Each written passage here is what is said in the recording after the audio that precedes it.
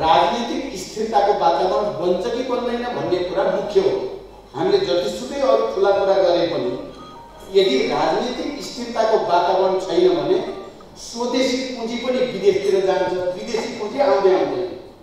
यो कुरा हामीले गएको पचास वर्षको नेपालको इतिहासलाई हेऱ्यौँ भने या साठी वर्षको इतिहासलाई हेऱ्यौँ भने ठिक त्यस्तै देखिन्छ।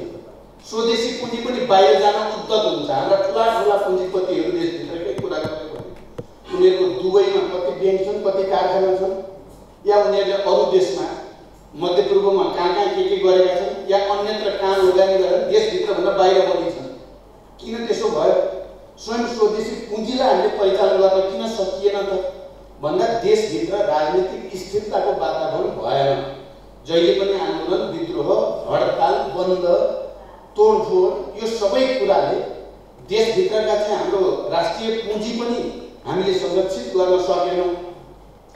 हुने हुँदैन त्यो पुँजीको त आफ्नो नियम छ नि जहाँ अनुकूल भेट्छ उतै बग्छ त्यो। पानी बगेर जस्तै हो त्यो। जहाँ चाहिँ भिरालो देख्छ उतै गइहाल्छ त्यो। रोकेर रोकिँदैन नियमले कानुनले हामीले भनेर रोकिने चिज होइन त्यो।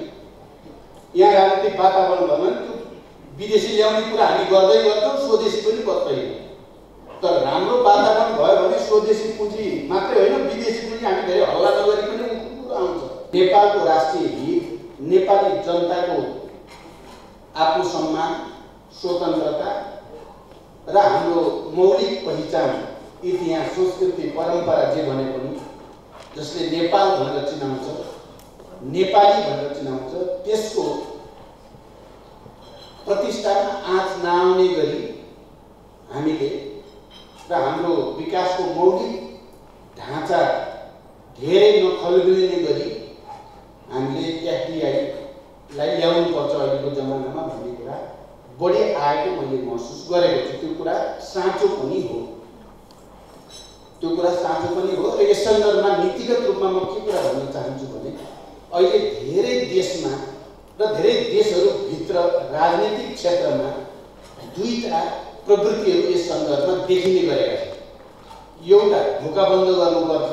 कुनै पनि खालको वैदेशिक लगानी ल्याउनु भनेको आफ्नो देशको मौलिकता धराशायी हुन्छ त्यस कारण रोकिदिनुपर्छ भनेर ढोका बन्द गर्ने नीतिका पक्ष पोषण गर्नेहरू पनि भेटिन्छन्।